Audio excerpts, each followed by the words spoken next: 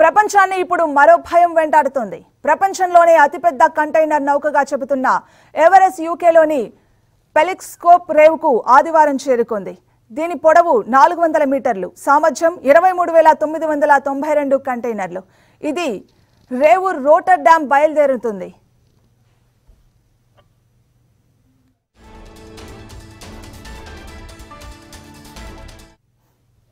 అచ్చం ఇలాంటి నౌకే అయినా ఎవర్ గివెన్ సుయాజ్ కాలువను దాటే క్రమంలో అందులో ఆరు రోజుల పాటు చిక్కుకుపోయింది. ఫలితంగా ఆ మార్గం బ్లాక్ అయింది. వంద లాది నౌకలు అక్కడ చిక్కుకుపోయాయి. దీంతో ప్రపంచ వాణిజ్యానికి కోట్లాది డాలర్ల నష్టం వాటిల్లింది. ఎవర్ గివెన్ నౌకను బయటకు సురక్షితంగా అడ్డు తొలగించేందుకు పెద్ద ఎత్తున డ్రెడ్జింగ్ చేయాల్సి వచ్చింది. రోజుల తరబడి అంతర్జాతీయ వాణిజ్యానికి అవరోధం కలిగించినందుకు ఆ నౌకకు భారీ జరిమానా కూడా విధించింది.